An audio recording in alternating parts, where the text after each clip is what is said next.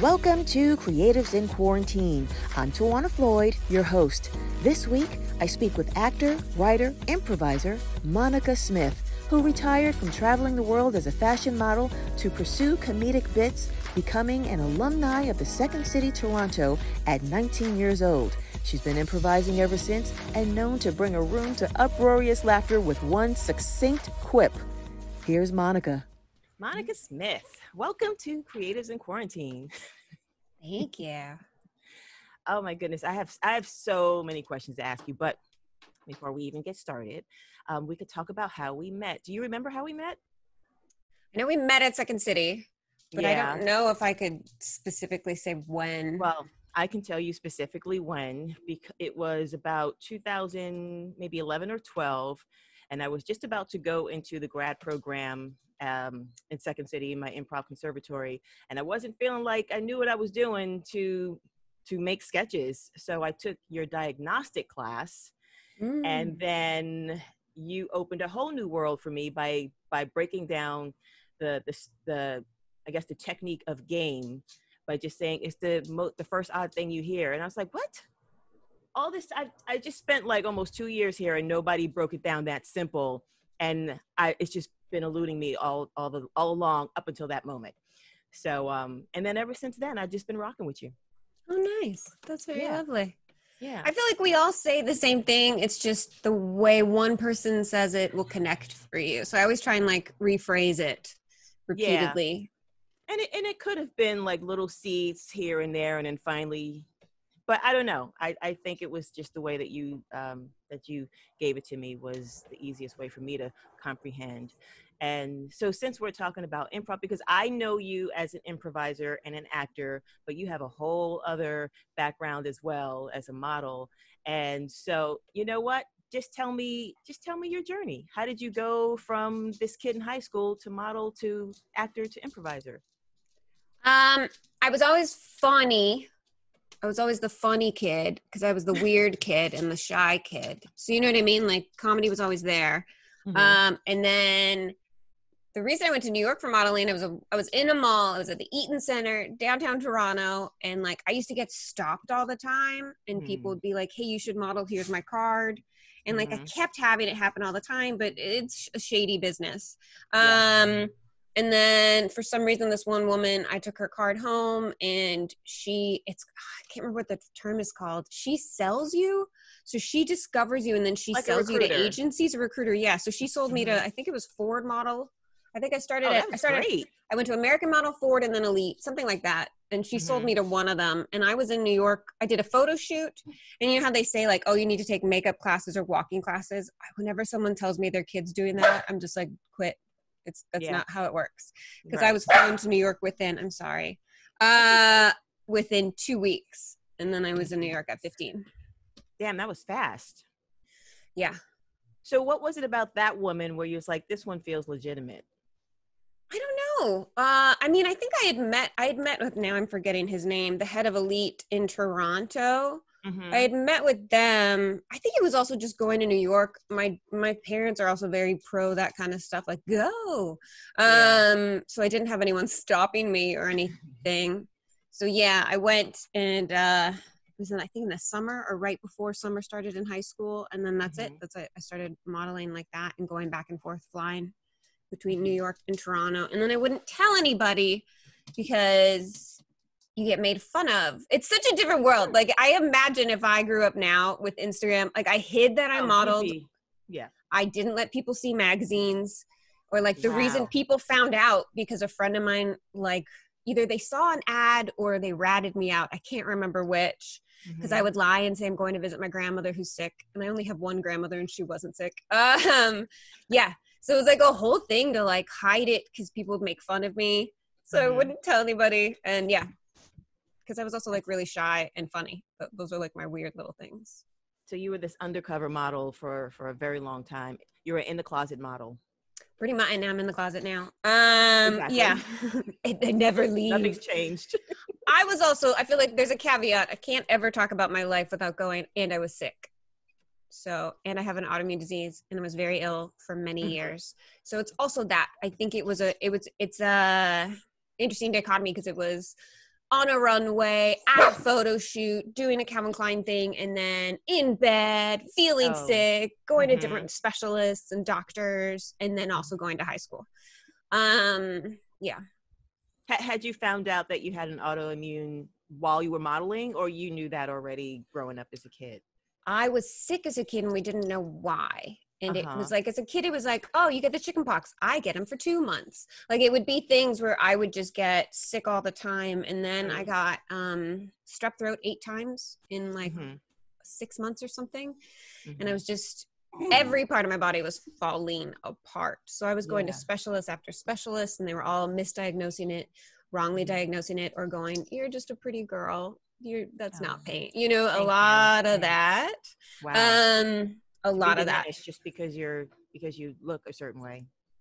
But Not it makes right. It's not uncommon. It Yeah. happens. Um, you know what I mean? Especially reading now about how often it's happening to Black America, and it's just like, Yeah. oh, or like pregnancy rates here. Oh my God. Um, Yeah, right. yeah so obviously this happens my journey is like this version of it my dad once said he's like well people don't think you're in pain because you're pretty Oh my god. i was like i think that makes i think that's what happened i think a lot of doctors were like yeah but you're you're pretty and i hold it i don't show it i'm top like you know what i mean i'm Right. not gonna i'm not Right. one to like cry in public so i don't know Mhm.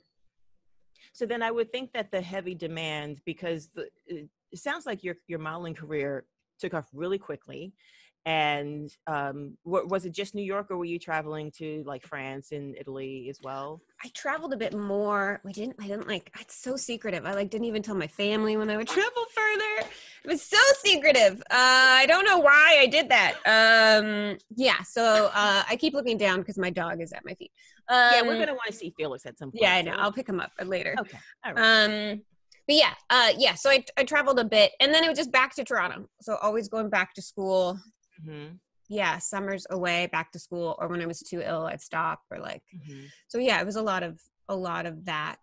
And then somebody i grew up watching sctv i'm canadian right? So our tv we get monty python. Sct was brilliant kids in the hall. I didn't get mr show or at least i didn't even know it existed. Um and so that definitely had an influence on me. And then i started taking classes at second city in toronto Okay. How old were you when you were, were you a kid at this point? 19 18 Yeah. Wow. 17 You found it like- early. Yeah teenagers something around there um, Mhm. i found it and i started taking classes there and i'm so sorry uh, and it just connected i'm sorry he's gonna just be a dick today um, come here hey let's go We're loose. We're loose and free here. I've, I've had I've had spouses pop, pop up. I've had right, kids pop up. Your kid can pop up too. oh how about this maybe he just wants some attention That's right. Yeah. It's like, who are you talking to? Are There you you crazy? go. there you go bud Okay, so now we have to introduce Felix and talk about This- Felix for a moment. felix smith um, he's gonna jump because he hates it uh, that's it my dog Instagram. he has his own Instagram because otherwise everything I do is taking a photo of my dog, right? Right. Like it just Right. becomes the thing you do. Right. Um, yeah. Now he's chill. Yes. Hi. Um, hello, buddy. Uh, yeah. So that was sort of the high school experience, and then Second City just connected because I got into TourCo before I finished conservatory. Oh wow! Um, and talk. So, what is TourCo? I'm not really clear on what that is because they don't have that in Hollywood. there's a different tiers of it. So I was in the low high school tier.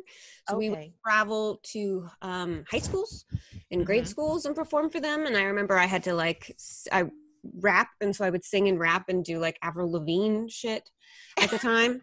Um, yeah, so it was like doing bits and then improv, and then at the end of the show, you'd improvise with students and you bring them up on stage and stuff. And so we would get in a van and drive across Toronto or stuff. I believe it was sixty-five dollars a show, something Oh. like that. That's nice. Um, I'm, it was yeah, a little change, a little pocket yeah, change. yeah, it was a little pocket change. Um, I got us to name our conservative pro, our, uh, our class show. So for anyone who doesn't know, in Second City, it's like a two-year program. You go through like one level, and then you go through a bunch of conservatory levels. And so I got my class to calculate how much we all spent, and we titled our show "The Price It Costs Us to Go Through the Program." So our show, our final grad show, where everyone has like great fun puns. Ours was like the twenty-eight thousand dollars, seven hundred and blah blah blah student. And then like they were not happy with that. Of course not. Right. How, yeah, yeah. What? No, yeah, make a mockery out of other things, but don't parody what we charge. Okay. Yeah. yeah.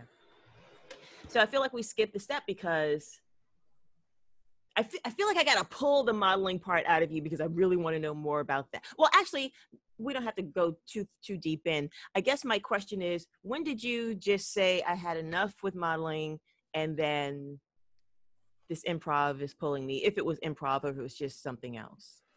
Um, I think it's a mix of things. Modeling was good money, so you know what I mean. I could pay off stuff, but I was sick and illness took over, and so there Gotcha. there's just times where I was too sick to do things, so then I wouldn't work, and then I could work and I would do a modeling thing. Mhm. Um, also, I don't the industry. I feel like whatever they say about acting, the industry is so much worse than modeling when it comes to creepos. Um, so you add in that level, which again I handled, Yeah. but like um, all of that, sometimes it was just nice to not be seen as just an object, like especially being quick and funny, being like, no, but I have other things, uh, Yeah. other attributes. Right. So, yeah, I think, and it was a thing of like, oh, if you model, you won't be able to act. Models aren't taken seriously. It was such a weird, it's, it's a different divide. time. Yeah. Yeah, right. So I Mhm. think I had all of that going through my head, and uh, improv has just consistently brought me joy. And so when I started doing improv, I just, you know what I mean? I think you're the same, where you just found it and you're like, oh, I Mhm. love this. Yeah. And like, I just created this family, a community of friends, and then I was performing a ton all the time. And we would do like, we started doing shows in bars, and we would start our own thing, and we drove to Chicago together. Like, I just had this like yeah. connection with people to do this thing. Right. So I think I, Yeah. I leaned into that more. That makes sense. I feel like um I didn't learn about improv really, although I watched SCTV as a kid. I watched SNL, the original cast, and you know, growing up, and there was a show called Fridays as well. And so I didn't really know what that was. I just knew that I liked it. And it wasn't until I moved to LA in 2005 that I saw a building called the Groundlings. And I was like, wait, I think Phil Hartman went there. And I ran into the Mhm. building with my friend. She's like, what is this place? And I'm like, they, they, I didn't know they had a school, you know? And so then started researching uh, the origin and then found out the Second City really was the birthplace of it. So then that's why I chose Second City and did some time at the Groundlings as well. But what I learned um, when I was in New York before moving to LA, my my childhood best friend, we're still friends t- to this day, is a stand-up comic, and so um, sh- all of a sudden she decided that she wanted to be a comic out of nowhere, and and it was shocking to all of us, all of her friends, because we never knew her to even want to have a career, and so we were on the ski trip, and she decided I'm going to ask if I can get do a set tonight. We're like, what? And she did it in front of like a thousand people and did really well. But I tell that story because um, when she would like do like little sets here and there around New York City, I would always go with her because I wanted to get in for free. That was that was really it. And I had a car, so so it worked out. But I recognized that the comedy um, community was much more embracing and um, much more of a family than I felt actors were, where actors are always solo and pursuing on their own. So now coming to LA and then being a part of the improv community, um, I, I feel like the improv community is even more of a family than um, stand up uh, community. But I don't know, I'm not fully immersed in that, but I can only talk about improv. And, you know, you were talking about there were so many things that you could do. It's like you have control to create whatever you want to create. Yeah.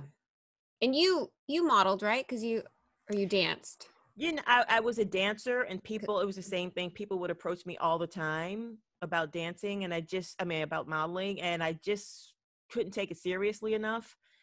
And then I think, kind of like you, because I read on your website, I like to eat, and I always felt like, oh, I'm not going to be able to do it if I have to stop eating. Um, so I dabbled a little bit, but never took it seriously. Okay, yeah. I've just seen you post some very beautiful either dance music videos or something where I'm like, oh hey. Who was this girl? Yeah. yeah yeah right we're all we all have different different parts of our lives so so then how did you transition well actually how did you get to los angeles from from canada and going back and forth to new york what Um, you decide to come here and stay I I think since I was little, I, I always said I was going to leave. Like I told my parents, I won't be living here, and I love. I'm very proud Canadian, so I love my Yeah. country.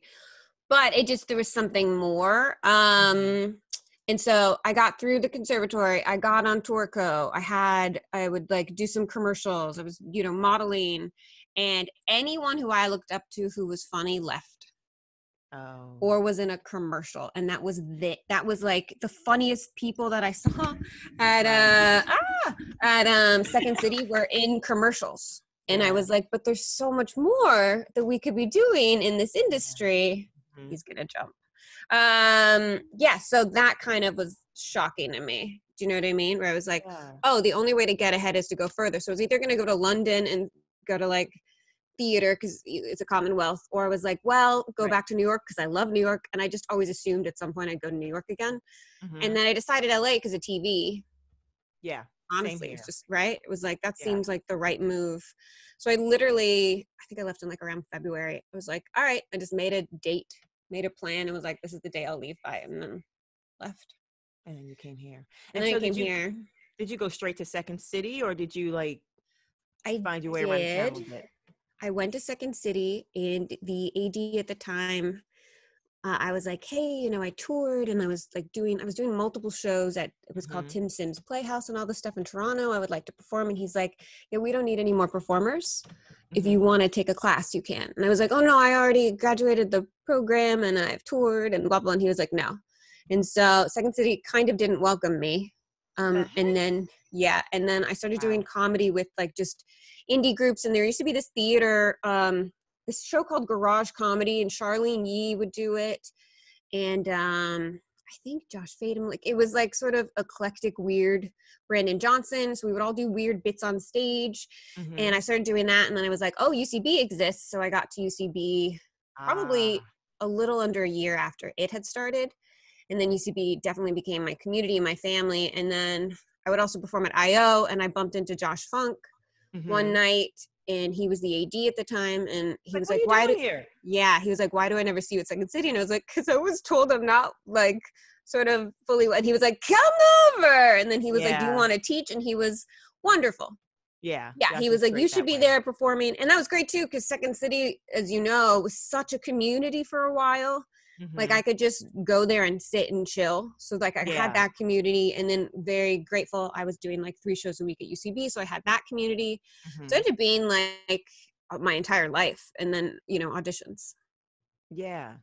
Yeah, I was just thinking I was surprised to hear the AD that when you because I know that Josh is always like the moment that he hears like a, any alumni from no matter which city, um, he's like, "Well, come and teach." he's very embracing that way. So whoever that other person was, oh well, but it worked out. it happens yeah that's what i'm saying I'm- exactly. i'm not like naming names because i'm not trying to be like yeah, no, I don't. I don't whatever Yeah, i'm just saying like yeah that just happened to me. And um and in a way that's probably good because i went to ucb and i committed exactly. all my energy to them and like it paid off. That was like a great Yeah. community and like yeah. Yeah nothing's ever in vain i think. So so then so you started teaching at second city first or ucb Mhm. or in tandem Second City. city first second City and then first. at some point you decided or did you go to ucb and it's like hey i'm teaching over here I'd like to teach. Um, yeah, I think I taught at Second City for a while first, and then I started writing curriculums, and then I started selling curriculums, and then I would write a workshop or Oh. two for IO, and then I Mhm. wrote like a lot of the Second City. I wrote the long form program there, the acting, the improv program, the um, kids sketch, kids improv. So I just started writing a bunch of curriculums, and at the is history. time, yeah. What do you mean? This back in the day, you mean? It's history because i didn't know that you were writing curriculums yeah, and you get paid like 150 bucks. Want to write this Yeah, class? And yeah, at the time, I was like, sure. Yeah, Um, and so that's why like I would start inventing improv games and doing all this kind of stuff. And then Mm. um, trying to think what happened. Something at UCB, I was just like, hey, I've been, you know, I've been doing all of this. I would love to start teaching. At the time, there used to be a weirdness between improv theaters many years ago. right You couldn't perform at multiple places. Like Brian Yeah. Gallivan and I were the only ones who were kind of not to say Accepted allowed to cross accepted yeah because i had weekly shows at both theaters Mhm. and there was somebody else who had a show at io but yeah there was just a time back in the day where it wasn't as accepted if you Mhm. recall he's gonna Yeah. jump off go get Go, do it, He's like, live. I'll, I'll I'll jump when I when I feel like jumping. Yeah. I feel like jumping now. now I'm ready. And now go get your bone. Um, yeah. So while that weirdness was happening, I couldn't uh, teach at UCB. And then at some point, that just all changed. I don't know what happened. It was just realizing there's a lot of talent and we're going to perform where we can get on stage. yeah. So you can't try to hold us to this um, imaginary exclusive contract in your mind. Yeah. And also, we're not getting paid at any of them. So it's not right, like, right. now you yeah. it's not like I'm like, I got to go to Iowa, make some money. No one was paying. Yeah, so it was just like, either way, I'm going to just Yeah. get on stage. Right. Yeah. So when you came to LA, how did you find that small group of people? I don't even know. I think Mm.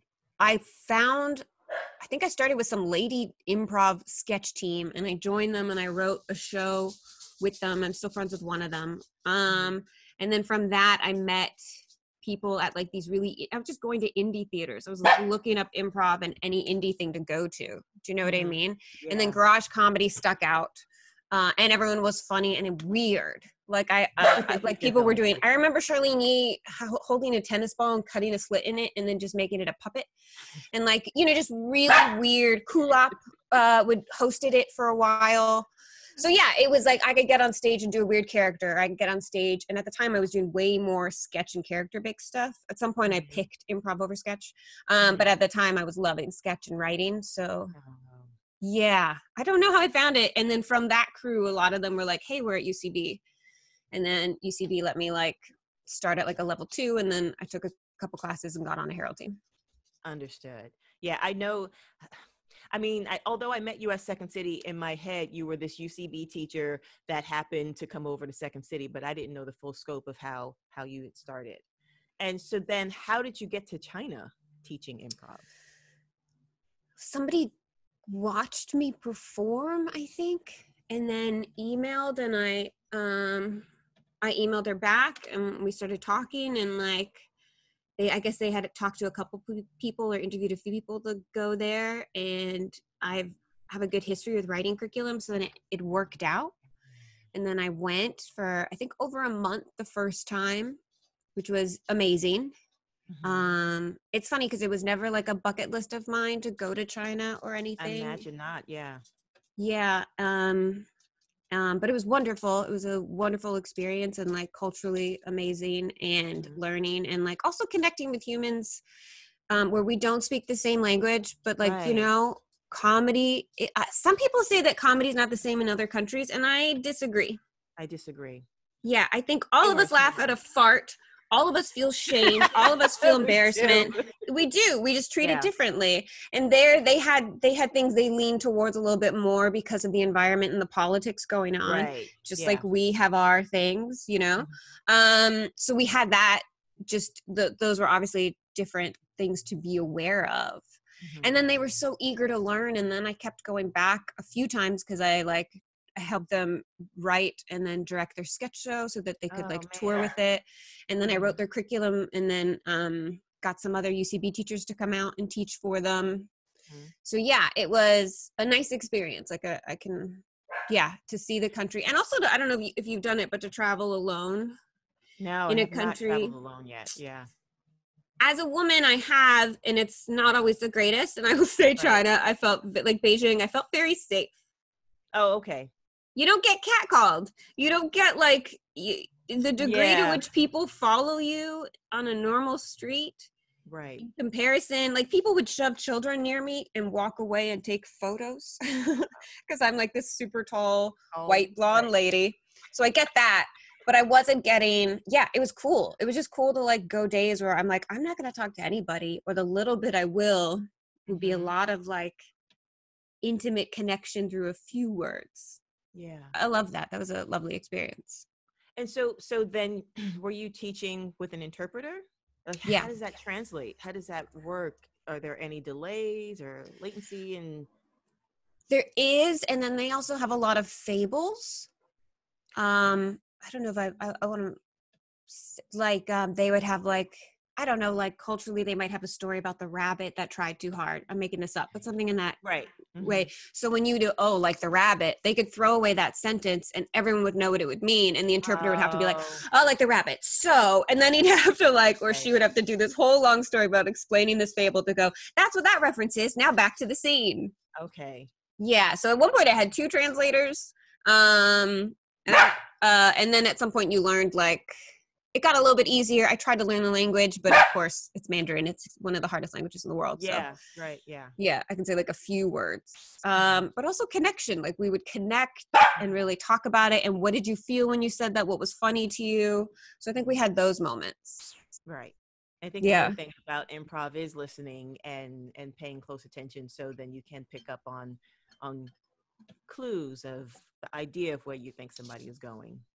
Yeah and object work they were amazing at because they're theater actors and they're very committed and Oh. um the business there is very hard too like they don't have a union saying how many hours you can work so they just Mhm. work you know and it is like a sort of a third world first world in one city where i was at least Mhm. so having all of that happening was um a lot like I, I they were definitely like tried hard worked hard and took a note and were you know so that was really nice especially like coming in and they don't know me yeah. you know yeah. they don't have to but there is such a level of respect that was lovely and like connection Mhm. yeah you How know long- How long ago was that? um i don't even know i'm bad with years something about me Okay. Um, I am. I'm very bad with years and ages and numbers. uh, but everything else, um, I think it was, gosh, I don't know, 2016, 2015. Mhm. I went the first time for over a month, and then I went a couple more times because then one time I like would, you know, go there and then travel or something. So I'm trying to. Mhm. I went three, three or four times. Oh, that's amazing. That's uh, um it it strikes me so like interesting and wonderful when and this probably still happens now, but like in the 90s when I was a, a hip hop dancer, a lot of the um the guys would get flown to Japan to teach families and then they would teach schools or whatever and I'm like, "What? We can that's a thing, you know?" So when I read that you went to China to teach improv, I'm like, "That's a thing?" But yeah, that makes sense. Yeah, I mean, there are people like Will Hines, who's ridiculously talented. He, I think, Mhm. travels quite a bit. Like, there are a couple improvisers that have been around the world doing this, and you know, Yeah. further places than I have. Um, yeah. So for me, it worked out because also like we were taken care of. I had a hotel room. I didn't have to like Oof. sleep on someone's couch. Yeah. Not to be uh, like a dick, but also not going going to a foreign country where I don't speak the language. I'm like, I need a hotel room. No, I don't want to. would yeah are a part of it. Yes. that's that has to be something. Absolutely. Um, but there are definitely a few improvisers who do that and are very good at it. Oh, okay. Yeah. So I want to talk about your one woman show, which I have yet to see. And um, well, tell us about tell us the name of it. Just tell us about the show, how it started, how long it's been running. Do you do anything with it now that we're in quarantine? But I I'll was. Um uh I think I love improv and I think this happens at least it happened in my case where you get Mhm. um not burned out, but you kind of have to find something new about it to love. And I think the benefit of teaching is I would have to teach yes and so much that I'd be reminded of like, oh yeah, go back to the basics, yes and. I would teach object work and then, oh yeah, enjoy object work. So I tended to always have a love for improv. I never really had those like lulls of hating it, which I have like I think we all know people that kind of hit their peak of like they need to take a few months off or something. Mhm. So I think teaching helped me with that. So then um I was just trying to challenge myself and challenge myself. And I had a couple two hands that I really liked. Um, and I love a mono scene. And I don't know, I just kept trying to challenge myself and how can I do more? How can I take it to the next step? And then I was like, why don't I just do solo improv? I'd heard that someone had I saw someone do it in Toronto once on a on a in a comedy festival Uh-huh. and I hadn't seen it since. And Ian Roberts uh, like talks to the audience and just like that's his improv one man show where he'll just ask for suggestions and then tell stories. And I was like, ooh, okay. So then I wrote him and I was like, can you coach me? Wow. Cold. you wrote And- him cold. You did you know Yeah. Yes, through UCB I knew him. He also got me my first manager. He was very sweet. Okay. and um believed in me and like that helped me get my first commercial in LA. Got me my SAG card. Um so yeah, so I wrote him and I didn't know how he would respond and he was like, "Yeah, let's come to UCB." And so I went to UCB and I was on the stage and he's in the audience empty and he's like, "Okay, go." And it was Oh. scary. So I started with the pretty flower and then I started doing the Harold.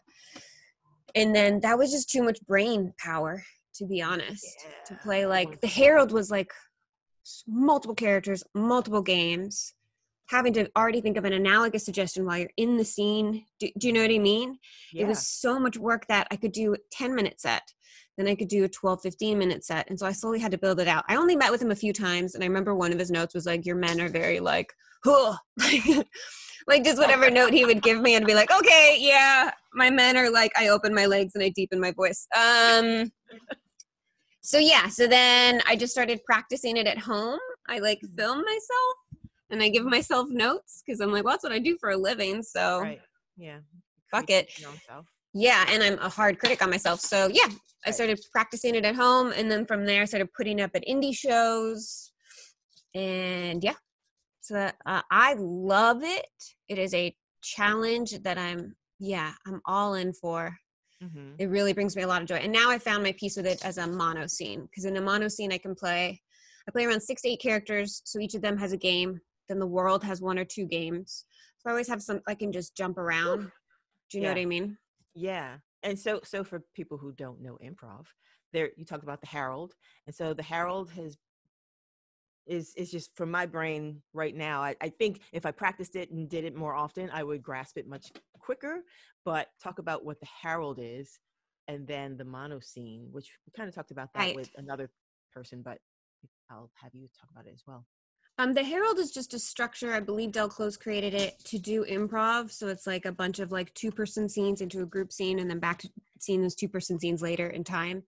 Um, Mhm. and then a group scene again. Um, I think it's taught, it's used at most schools to teach improv. It's almost like draw within the lines, learn how to do that, then let's remove the lines and do whatever you want. So I think people learn within that structure. And then once you get, once you understand Harold, you can do scenes, you can do group scenes. You know what I mean? You can, you have a lot of um, tools in your belt and then you can do whatever you want. A mono scene is one scene. So it'd be just one long scene that takes place in one moment of time. So there are no Mhm. cuts to the future or to the past. I Mhm. said pretty flower before, which would be cutting, jumping around in time. And so I like the mono scene because we live in the nuanced moments. So I think you can get a lot of comedy from silence or from like looks, you know, from like sitting with the weight of what was said Mhm. um, which is very different because uh, UCB I do think is like a faster theater, and I love doing fast improv. But Mhm. there's something nice about that. So yeah, I don't know if that's like a good way to describe it. Those would be those Yeah. different forms. Mhm. Um, yeah, and they're So not then- depending on openings too. Go for it. No, so oh, so just for clarity, because I I can kind of see it, um, mono scene. So basically, your one woman show is people come, they're sitting in the audience, and then you take suggestions, and then you do, um, you play out a story based on that suggestion in a mono scene. Yeah, I started doing it off of a word, and I realized it didn't make sense to the audience. Mm-hmm. Like they were like you just took a word and did this whole thing. So i realized it, it works better to either get a couple words from the audience or get um, a little more of a suggestion so they can see the su- suggestion come to life on stage. Okay. Um, yeah so i started doing that and is there more to that? My dog barked and i'm sorry i got distracted by him. Oh, He's being he's just being a butt. Oh, he's barking. He's he's actually what he's doing is he's trying to tell you that you forgot some some bits of information. No, I don't know. yeah probably. He's like ah you missed a couple years. Uh, yeah yeah. right, exactly. Um but yeah okay so then great so then we so right now it's the how did you phrase it? It's the only one woman improv show in hollywood?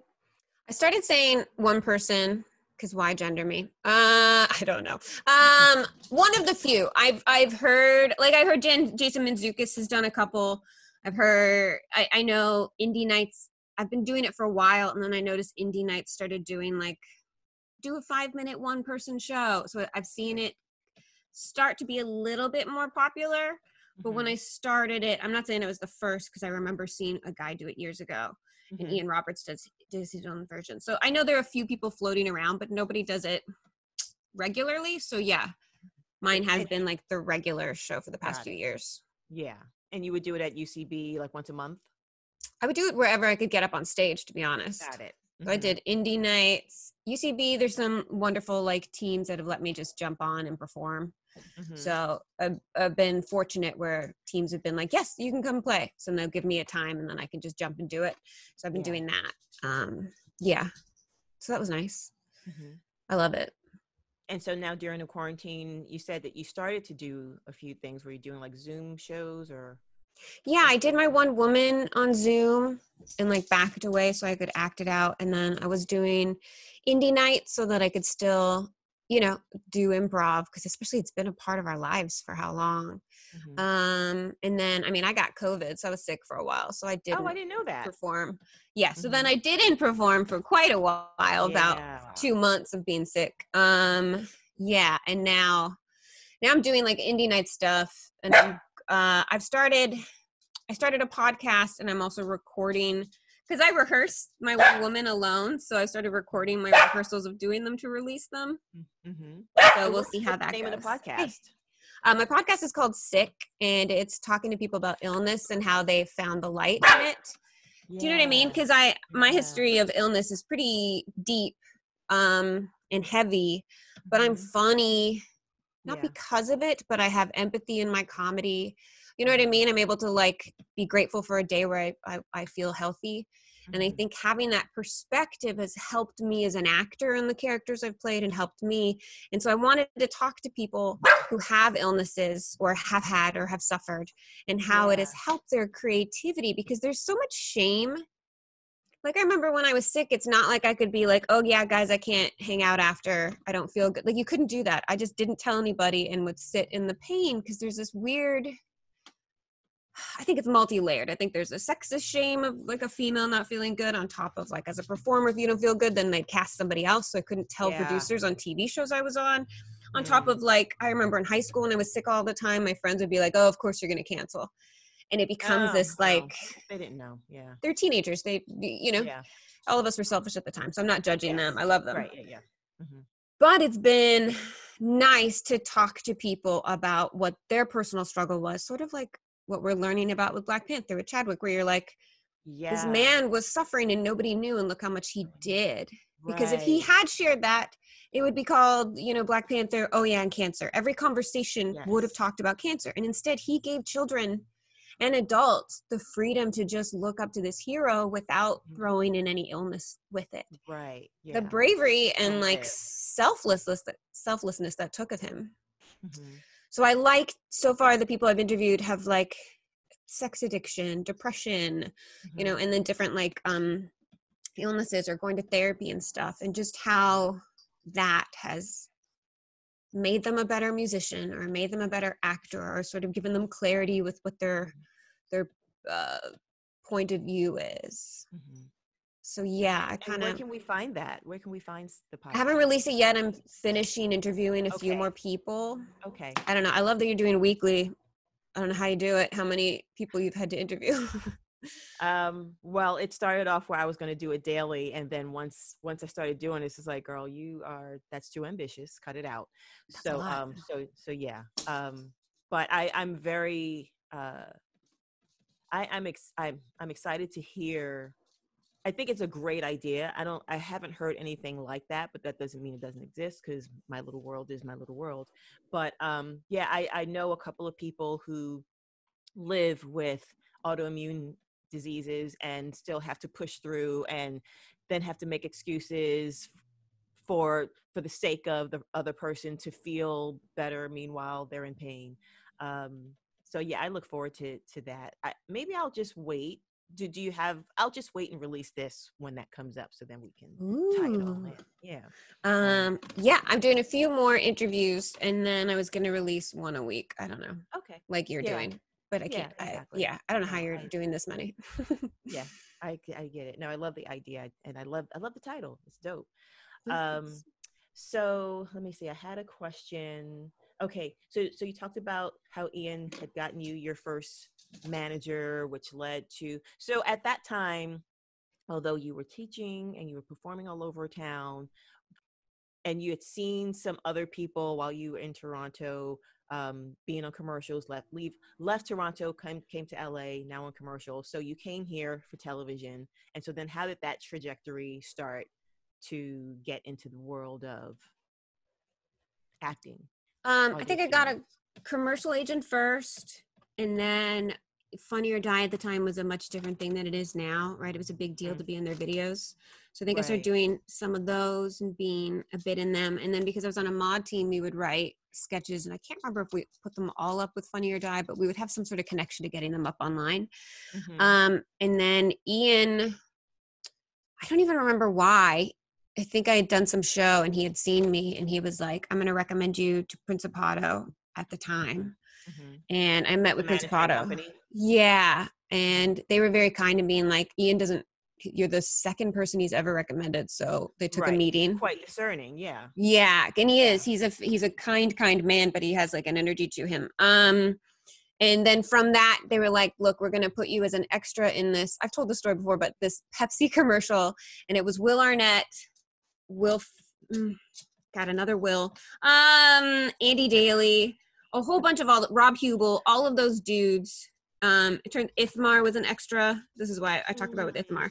Um, and I was an extra and stuff. And then all day we're just extras sitting in the background. And then at one point I sit next to Rob Huebel and I kind of just took a risk.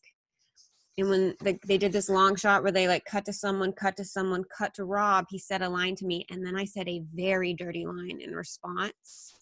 Um, and they cut and people started walking up to him to shake his hand, just being like, holy fuck, so brilliant. And he was like, I didn't do that. That was Monika and then I'm in the commercial. I'm, I'm the button for the commercial. Um, everyone was nice to me. All of a sudden, you go from like an extra to oh, she's funny, Yeah. and that that got me my SAG card, and that Principato heard about that because they were like, maybe we'll sign you. Why don't you do this thing? And so I was like, I got to do something. Yeah. So yeah, and then I started working, like booking guest stars pretty consistently. hmm yeah for a while um back and forth thing and then you know again illness gets in the way at times so then i couldn't Mhm. work um yeah uh and then trying to like change my type was a thing for a while Oh, talk about that. Why were you why were you trying to change your type? because Or I what was, was, just, your type and then you were changing it too? i mean now i'm back to that blonde but like i was the dumb bimbo-y woman girl i was booking a Mhm. lot and like half dressed and stuff and i get it i look a certain way Mhm. um and i could be funny in it and i liked it but i was hitting this point where i want to be seen as more than that Yeah. so i tried to like change my hair and change my type and start like being seen as a different type of entity that would be hard because i would book something and they'd be like can you go back to blonde so then i would book it and then okay and then go back to dyeing it blonde anyways because they Right. wanted that type of woman um and then at the same time i was also going through illness stuff again because it, it heated up at one point um yeah so now that's why at the beginning we were chatting i was like uh, i want to go back to what feels me so i went back to the super blonde again I understand. And as you bring that up, um, I'm thinking about the first thing that comes to mind is your role in Blunt Talk, where you play opposite Patrick Stewart. Where You were his girlfriend, right? uh i'm i'm adrian scarborough's girlfriend so Oh, the other lead right. but i That's right. live with patrick stewart on the show That's what it was. And what I loved about that character is that she was this aesthetically beautiful, kind of dippy blonde, but she was like, what were you, a science major or something? You Yeah, I think I got into NYU. I think they end my character with like me going into some program. Yeah. Yeah. She was very intelligent. Yeah, they like yeah, that was just a well written uh Very very well well written show. Um and a wonderful cast, all very sweet and loving. Yeah. The entire Very cast nice. was hilarious. I, I was I was mad that it didn't continue on, but so was Yeah. There's Um, also something about like as a guest star, you get to read energies because you join a family, you know, you join the family of regulars who've bonded and connected. And this mhm. was such a show where they just, I'm in a, a bunch of episodes, but they were very kind of me like, you're part of us. yeah. and I think they did like that it. With everyone else who I know who was a guest star, we all were just like, you're part of the community. And we still all are connected online in some capacity. It was really nice. Mm-hmm. It's nice when you work on those shows where like everyone is sweet, talented, kind. Yeah. Yeah, Like- because we're having. I mean, what we're doing is really fun, and there's no need to be a dick, but sometimes people are. Yeah. Um, and so, so with that, with that particular audition, like, what was it like to to go in for that role? Was was it already on the page? No, it was a it was a one liner. It was Oh, a one wow. And then I improvised in the room. Something like that happened. Yeah. Yeah. Yeah, because it was just one episode thing and ended up being like two seasons of it. Um yeah, so I was fortunate that way to have that like they he liked the character and let me continue to Mhm. play it. Um yeah. So that's okay so so that's that's such a great story. I'm glad i asked that question because now we're i'm starting to see this pattern you know with you because you've you're just such a, a well-oiled machine as an improviser starting at 19 doing your own shows going from toronto china la and um so now it's just a natural thing for you to just throw in a line or two and improvise something and then now it allows you to get this Pepsi job or or expand that or and then now blunt talking I don't know if there's been other things along the way where you're just like I'm just going to improvise something because I feel like it's it's warranted right here. Additionally, I mean, I haven't now with the quarantine. It's so weird to be like, what are auditions again? Um, I definitely like an audition, which is a thing to learn to do, right? Like as an Yeah. actor, you know it, where you have to like, skill. it's a skill to like it. And I think I just Yeah. found improvise before before this the page after the page, depending on what kind of show it is or how comfortable I feel with casting, or if Yeah. I've worked with them before, then I might feel a little bit more open. And sometimes I'll Mhm. ask them in the room, like how how you know what I mean, like how Yes. loose can I go? Because some people want it to the page, which of course. But right. yeah, I think it's helpful. That worked for me, but that's also like you know, like that's my skill set. So Yeah. I definitely try to utilize it in the room when I can. yeah. Yeah. Yeah, it's fun. Man, that's great. So so um so what are you doing to stay creative during quarantine if at all? Um, I mean, it's been a road, right? Yeah. Like when this first started, it was like, okay, clear out the house. I was doing my one woman show on Zoom. So I was like, okay, Mhm. perform. Um, started playing the ukulele again because I I, used to you played the play. I know. I did it for musical sketch and then I, it sits in my apartment. So I was like, let's do that. Then I started sewing again because let's do, you know, where Mm. like every artsy hobby comes back around. Yeah, it does, right. Yeah. Yeah, started but uh painting, I started crocheting. Yeah. Yeah, same painting. And then also I got sick. So then that took over for like two months. Mhm. Um, and then just uh it's weird because the world is grieving and Yeah. especially America. And I think seeing what's happening and how people are being killed and like Mhm. every day by police it, Mhm. there's like there's so many levels where i would love to and i recognize my privilege as a white woman i hope as much as i can be Mhm. where i'm not in that same boat but to see it happen every day and feel helpless Yeah. i don't know i it's hard to like i think there's something to admit about like there are days where you don't get as much done the, the like financially you're Right. not working since march essentially Right. aside Yeah. from a couple teaching things or like and then you're watching the world fall apart you're watching your friends be afraid to go for a walk at night or wear a hoodie like just things Right. where yeah so accepting all of that i would i think i want to connect with people who aren't getting as much done especially if you're also worrying about rent being paid or you're worried about healthcare and what SAG's doing or, um, or whatever version Yeah. of it is and then also thankfully i've been writing Mhm. when this started i wrote a bunch of quarantine trailers for the movies that will be once the quarantine is done That's great. and Okay. yeah so that took up time because i wrote a bunch that way you know i would do some dumb videos and then now i'm just back to writing yeah so trying to spend my time Mhm. writing again i pitched a show with a friend so we've been doing that That's great. yeah it's like it's a weird thing because i see people who are selling shows and doing all this and you Mhm. can't compare yourself to that because it's Nope. everyone's in a different position and Yeah, yeah. this is grief and then also getting sick is scary or being afraid people living in fear having not gotten sick yet or hopefully Mhm. never Yeah. like i just imagine it's a lot.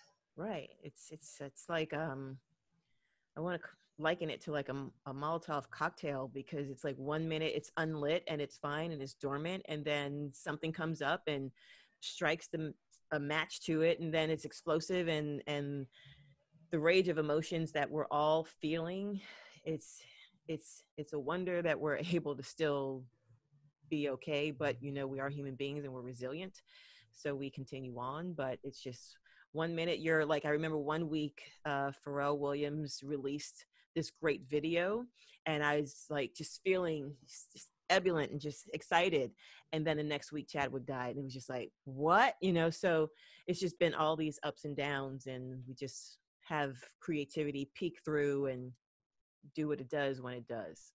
And i imagine everyone's triggered in so many different ways you know what i mean like i know Mhm. i'm personally triggered illness wise like Mhm. watching the chadwick thing obviously an amazing actor and like a profound like choices in the roles he played also for me personally him hiding his illness connected with me who hid mine for Yeah. years until now i'm finally really talking about it you know so like you're being triggered in ways you may not fully recognize or knowing people are losing their parents Right.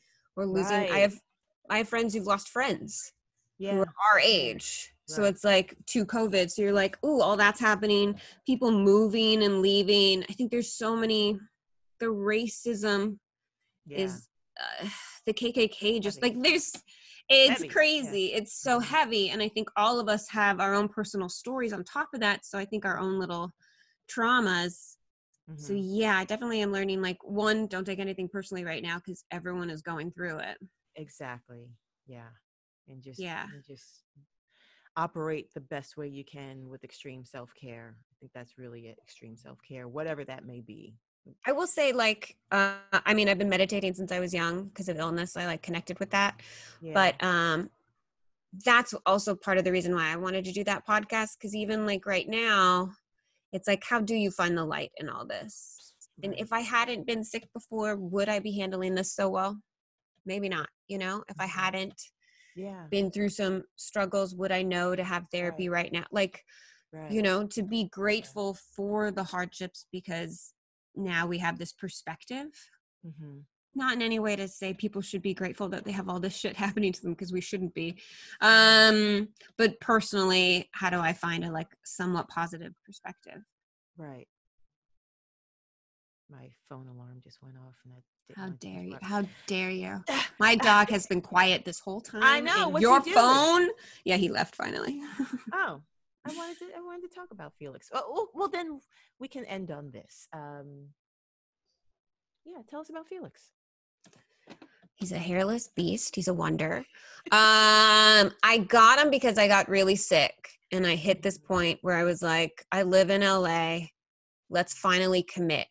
I, I like drove a shitty car that I was very proud to drive, a Nissan NX, uh, 1981 T roof. It was scratched up, and I was like, I don't need to own things because I would travel and like perform, and I loved this life. yeah. And then I got really ill again um, for a while and it Mhm. hit me of like what am i waiting to do? Ooh. You know how we wait for a career before you have a relationship or you wait for your career? yeah. It's happening was- now right yeah it's like so live in the moment and i was like well i always wanted a dog i can't have a dog because i'm allergic so Mhm. then i took months i think it took me eight months to find him to Mm-hmm. find understand a breed i could have which is a hairless little Mhm. Xolo um and then find him specifically Oh. and he's been great they're like the smart smartest dog he's from coco for people who know He's the dog that way. It's a spirit animal. It, it connects with the sick. So it has Oh, like this didn't beautiful, yeah, the, the animal has a beautiful history um, Mhm. to it. Frida always painted this beast. Um, yeah. And it, yeah. So I don't know, like for anyone who has a pet, especially now, I'm also single right now. I know you have someone that you're with during this quarantine, but to be a, alone in this quarantine, to have a pet is like, yeah, yeah right yes right yeah yeah. I, I I'm- think about that. Um, it's like, what would it be like to be? Because most of my time in LA, I've been here like you 15 years. Most of my time has been single. It's been these past, I think, I don't even know what year. I'm bad with dates too. Maybe it's three or four years. I'm not sure. Um, but yeah, I was like, yeah, I probably would have gone home. I probably, I don't know. Who knows? Who knows? But I can only imagine. And having um, a little partner and an animal has to be helpful. Yeah, just to also he brings people joy. You know when you Yeah, walk down does. the street and everyone and people do this with all dogs, but people look at your dog and they smile and you're like, "Okay, Yeah. that's lovely." Cuz I look at people's babies and smile. Yeah. Or I look at someone's dog and think how cute. You know, we all enjoy a dog video now and then. So it's like, cool. He brings me joy and I'm sure he must in his weirdness bring other people. Yeah. Yeah. His his Instagram page brings me joy. And that's my pastime. Um, crazy cats and crazy dogs on. Instagram. That's I'm I'm looking for them so I can Yeah, right. light back up. Oh, I will send you a fun video I found recently. Oh, okay, great. I love it. I love it. But thank you for for um, joining me, Monika. This yeah, it was lovely. Great talk. Um, I really enjoy. I, I look forward to Sick, the podcast. Oh, thanks. Yeah, Um, I look forward to seeing this. It's also nice to see you. For a while, I was seeing you almost weekly, so it's nice to see know, your yeah. smiling face and to know you're Same doing well. Yeah. Well, thanks, Monika. Thanks. I appreciate it. Thanks for watching Creatives in Quarantine. I'm excited for Monika's new podcast, Sick, launching next month, February 2020. Follow her and Felix on Instagram. And don't forget to click the subscribe button and like if you like this interview. Until next time, bye.